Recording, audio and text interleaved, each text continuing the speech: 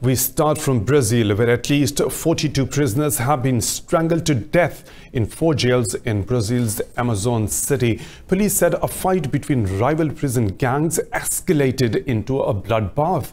Reinforcements were sent as the riots spread to other jails as well. Federal task forces eventually managed to contain the situation. The family members of the victims launched a protest, blocking roads and burning fences. Authorities managed to restore order after negotiating with the demonstrating relatives. Brazil's president, Jair Bolsonaro, has pledged to build more jails to reduce overcrowding and prevent riots. Israel's parliament has passed a preliminary motion to dissolve itself. If the bill receives final passage in a vote on May the 29th, the country would be forced to hold new elections. Prime Minister Benjamin Netanyahu is struggling to form a coalition before the final vote tomorrow. In a televised speech, Netanyahu blamed former Defense Minister Avigdor Lieberman for creating the crisis. Avigdor Lieberman has insisted on passing a new law mandating that young ultra-Orthodox men be drafted into the military. Netanyahu's ultra-Orthodox allies have demanded the draft exemptions remain in place. Without Lieberman's Israel Beiteinu party's five seats, Netanyahu does not have the number to form a government. Turkey has launched a counter-terrorism operation against militants in northern Iraq. The Turkish military said its artillery has been shelling targets in northern Iraq to neutralize PKK fighters and destroy their weapons. The ministry said the operation is going as planned.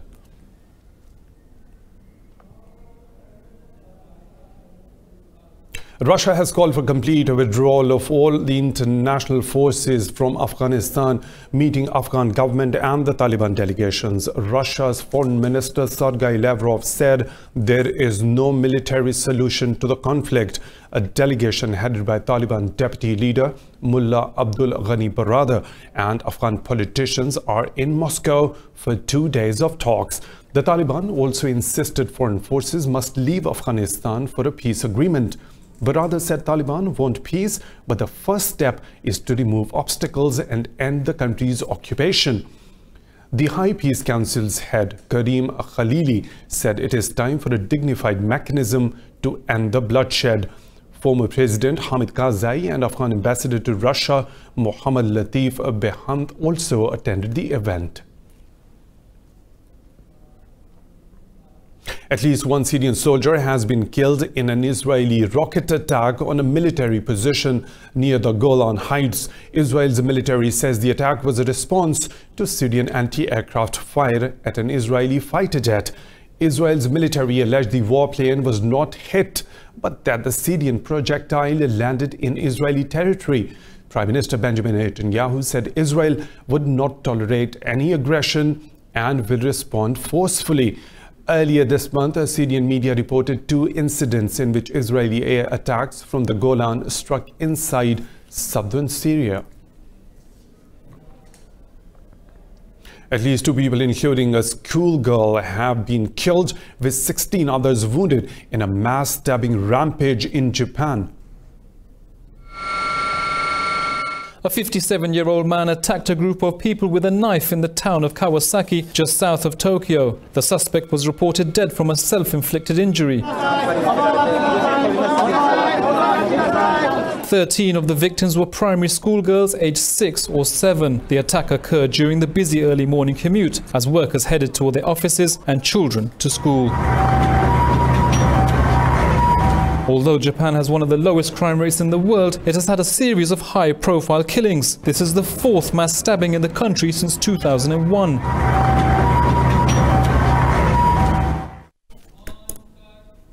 Sudan's alliance of opposition and protest groups have started a two-day general strike in the country. The move came amid escalated tensions after the talks with the ruling military council collapsed again. The opposition alliance has criticized the military for demanding a two-thirds majority in the new council. Wagde Saleh, opposition spokesperson, threatened to launch a civil disobedience movement if their demands are not met. Meanwhile, the military says the opposition wants to confine it to a ceremonial role in the council.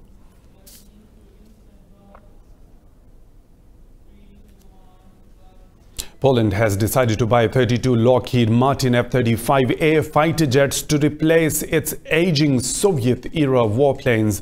The quotation for the aircraft, along with the logistics and training package, has been sent to America. Polish Defense Minister Mariusz Blaszczak announced the deal amid Russia's growing assertiveness. He claimed progress in convincing the United States to increase its military presence on Polish soil. Poland is among NATO member countries that spend at least 2% of its GDP on defense. The F-35A fighters are estimated to cost $85 million each. In the wake of the European elections, the contest for the European Union Parliament's top job has kicked off. Paris and Berlin appear on a collision course with the replacement of Jean-Claude Juncker as Commission President. The German Chancellor Angela Merkel is backing the German MEP Manfred Weber. Merkel said Germany still favors picking the Spitzenkandidat from a winning party. Under this system, the leader of the party that commands the largest coalition automatically takes the job. Merkel urged European Union leaders to agree fast on a nominee for the presidency. But French President Emmanuel Macron opposes the automatic candidate process. His meeting with the Spanish Prime Minister is being seen as a step toward forming a progressive alliance. The feud could hamper Weber's chances of winning the Council's top spot. Following Theresa May's resignation, the Tory leadership contest is picking up pace. Foreign Secretary Jeremy Hunt has warned against a no-deal Brexit. Meanwhile, Environment Minister Michael Gove has offered free passports to European Union nationals after Brexit. Gove pledged to waive a planned citizenship fee for eligible European nationals as a goodwill gesture. A £1,330 fee would be abandoned for around 3 million EU citizens who lived in UK at the time of the referendum leadership candidate Jeremy Hunt has called a no-deal Brexit political suicide. He pledged to negotiate a new agreement with the EU if he wins the leadership contest. Meanwhile, International Development Secretary Rory Stewart has promised a listening exercise on Brexit. This comes shortly after Housing Minister Kit Malthouse entered the race to replace Theresa May. Far-right Flemish separatists have made huge gains in Belgium's European Union elections. Meanwhile, voters in French-speaking Wallonia overwhelmingly voted for leftists. Here are the details.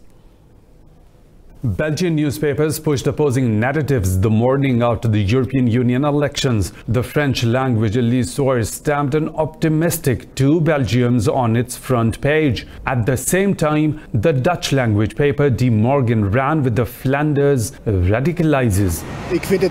I expected this result, especially after all that happened last year when there were many fights inside the government. Flanders stands up for Flanders.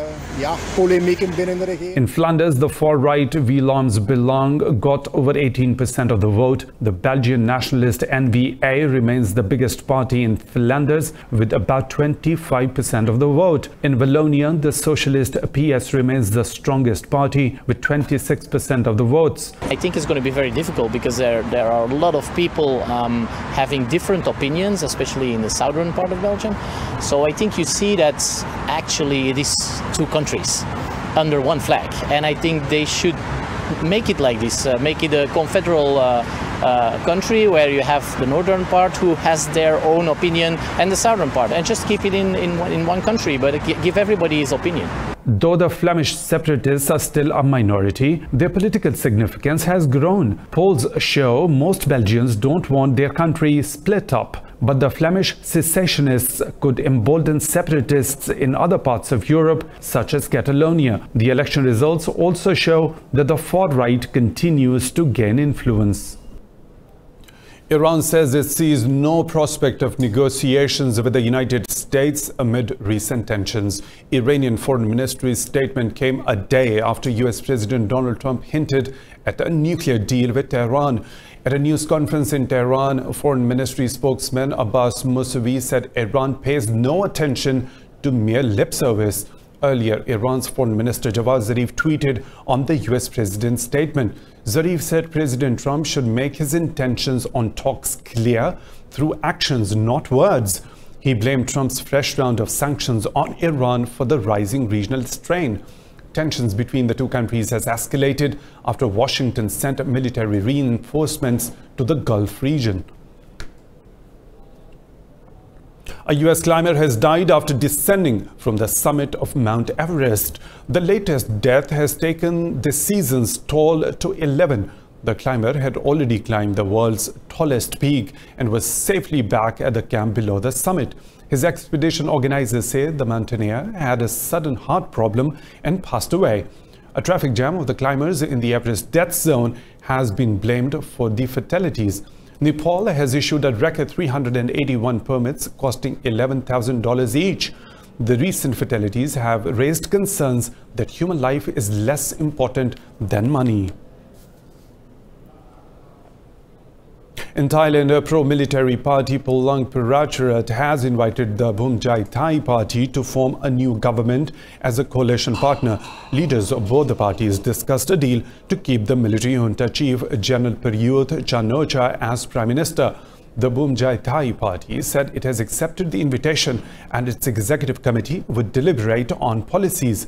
The two parties say it would give the pro-army coalition a slim majority in the House of Representatives. In the March 24 election, no party won a majority in the 500-seat lower house. In Bangladesh, fishermen are protesting against a 65-day embargo on fishing in the Bay of Bengal. Protesters say the ban has affected the livelihoods of hundreds in the country's coastal villages. Here are the details. Bangladesh imposed a 65-day fishing ban in the Bay of Bengal last week. The embargo was imposed to replenish depleting stocks of fish. Coastal villagers who have relied on fishing to make a living for generations have rejected the ban. We cannot fish in the sea for 65 days. This is wrong. This is injustice. You want to ask the government why?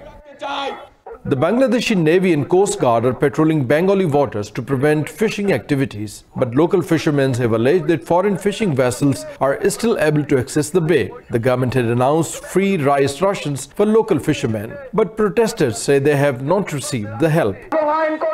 The government declared the affected will receive free rice. I don't know whether they have yet received any rice or government aid. The ban has also affected Rohingya refugees who have found work on fishing trawlers. Fishermen have threatened to march on Dhaka if the ban is not shortened. Falling coffee prices on New York Stock Exchange have upset coffee growers in Colombia. In the middle of a financial crisis, some coffee growers have been forced to rip up their crops to grow anything but coffee. This report has more. High in the lush green mountains of western Colombia, the world's finest high-end Arabica coffee is cultivated.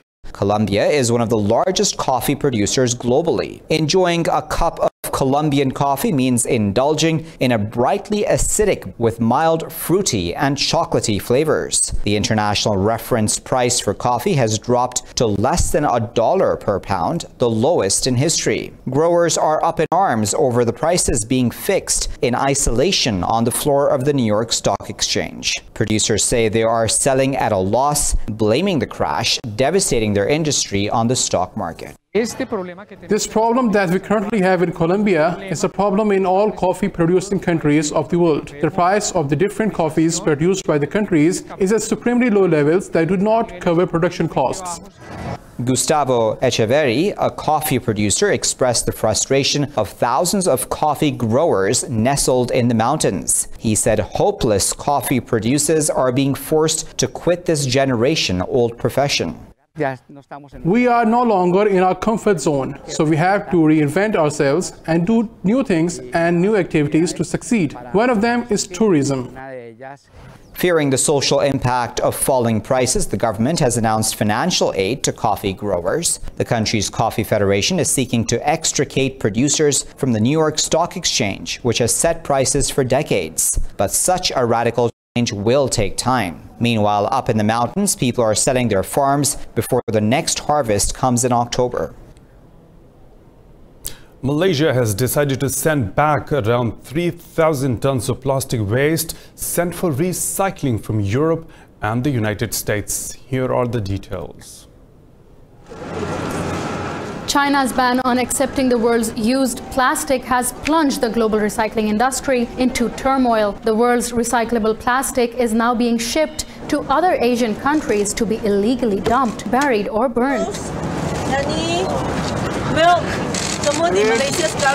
Malaysia is the latest Asian country to reject rich countries' rubbish. Some 14 countries, including the US, Canada, Australia, and Britain, sent their unwanted waste under the pretext of recycling. What the citizens of the UK believe that they send for recycling is actually dumped in our country. And this is something that is very serious and we do not only found this one company, we have found a few companies from different countries. Dozens of recycling factories have cropped up in Malaysia, many without operating licenses. Communities have complained of worsening environmental problems due to the recycling industry. Malaysians, like any other developing countries, have a right to clean air, clean water, sustainable resources and clean environment to live in just like citizens of developed nation. Officials said 60 containers of illegally imported trash would be sent back. We are compiling the list of the so-called recycling companies from this developed country and we will send back, send the list of these uh, names of these companies to the respective governments to take uh, to take further actions against. Only an estimated 9% of plastic produced worldwide is recycled. Environmental activists say that the only long-term solution is to limit both plastic production and consumption. Here is an interesting news. A 72-year-old French man has crossed the Atlantic Ocean in a barrel. After 127 days at sea, the adventurous septuagenarian is already planning his next escapade. Here are the details. 72-year-old Jean-Jacques Savin traveled 5,800 kilometers at sea in a custom-made barrel. The vessel measured 3 meters in length and has 6 square meters of living space. Savin lost 4 kilos along the way and mainly survived on a diet of freeze-dried food. It was a great experience. It was 4 months of freedom. All my life I have always looked for a side of freedom. For 4 months I flirted with Elu. I was with her the whole way. When things things were going well, she sent me south. When things were going a little badly between us, when she got upset, she sent me towards the north. On most days, the French adventurer kept himself busy by answering emails and writing his book. His closest calls during the trip were almost being hit by a cargo ship and one particularly stormy night. Luckily, I had this smoke flare ready because at the last moment he sounded a siren to warn me that he had seen me. Wow! And then I saw his bow swinging and it passed me by about 15 meters under my mustache. It was a moment, yes, very difficult. You can feel your legs shaking. The daredevil says he feels completely healthy, but doctors have advised him to get a full checkup. Now he has set his sights on swimming the English Channel.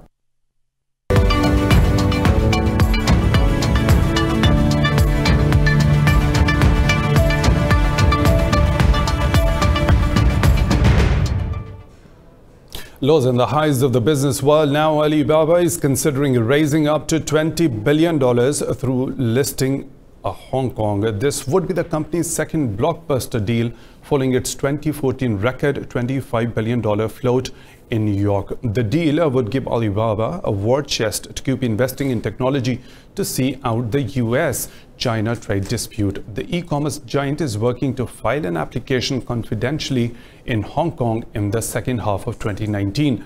The expected deal would be the biggest follow-on share sale in seven years globally.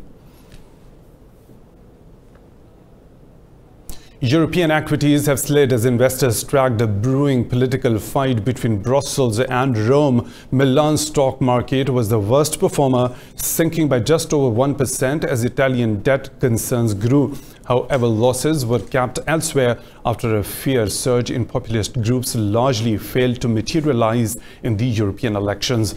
London stocks dipped 0.2%, while Frankfurt shed half a percent and Paris was down 0.6%. According to reports, the EU has warned Rome it could be fined for failing to curb its debt levels.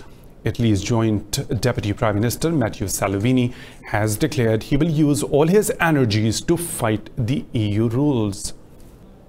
Young players across Afghanistan are pursuing their passion of becoming professional cricketers. Most of them are following the national team's players who are in England for the World Cup.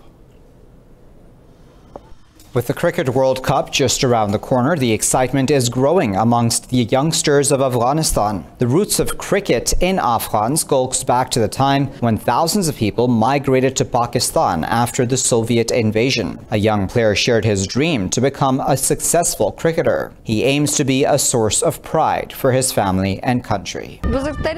It's one of my dreams to become a cricket player and to be honored by people. I want my countrymen, my family and my relatives to watch me on TV TV. I want to become a champion and bring Cubs to Afghanistan. It's my dream to play in the Cricket World Cup.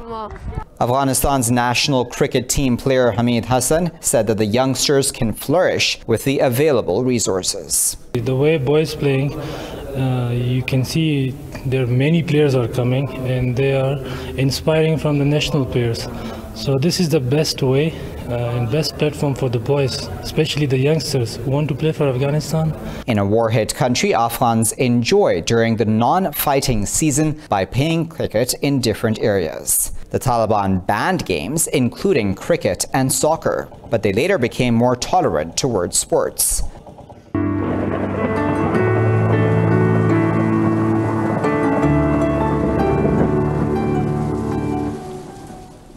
Time to take a look at the weather situation around the globe.